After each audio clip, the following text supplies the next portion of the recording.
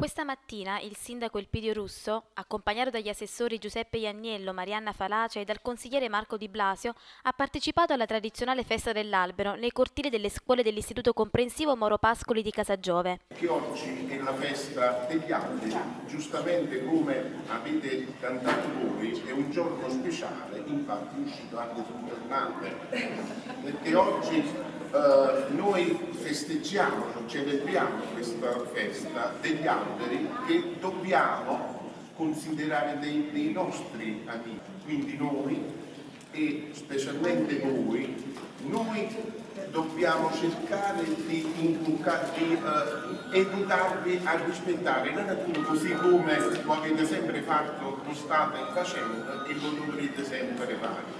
Ad accoglierli c'erano i bambini della scuola dell'infanzia e della primaria di Casagiove.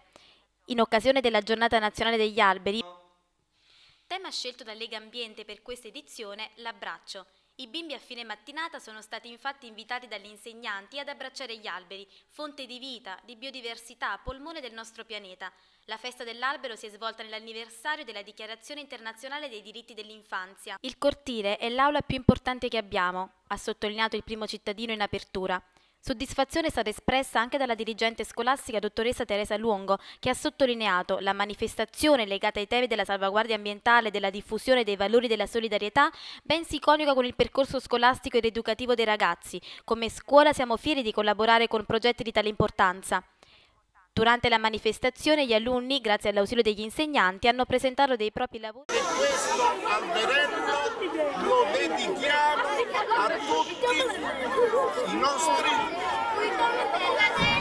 i nostri fratelli stranieri.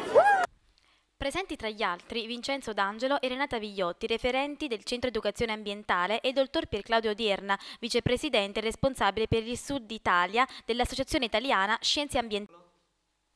Importante ricorrenza che ribadisce la necessità di salvaguardare i diritti dei bambini di tutto il mondo.